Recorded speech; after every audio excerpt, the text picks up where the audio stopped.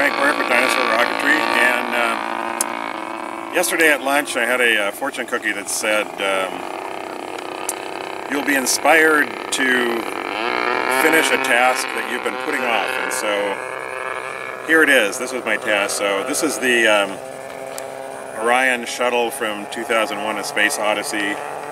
Um, at least my take on it. Um, the top view and the side view were pretty close modified the bottom arc so that it comes down flat so that I can put the rocket runner in line, the thrust profile right in line with the top of the wing so it doesn't want to pitch.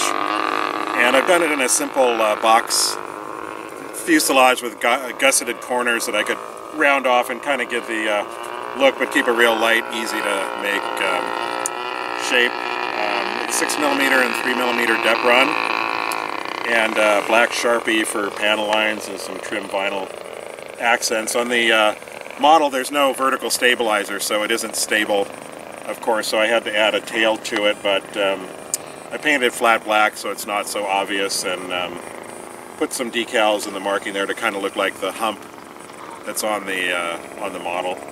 Um, it's 38 inches long, 20 inch wingspan and weighs uh, just over 6 ounces ready to fly and I'm using a small 18 millimeter uh, Aerotech uh, rocket glider motor that uh, has a long slow burn, and we're going to give it a flight.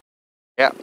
Taking off, five, four, three, two, one.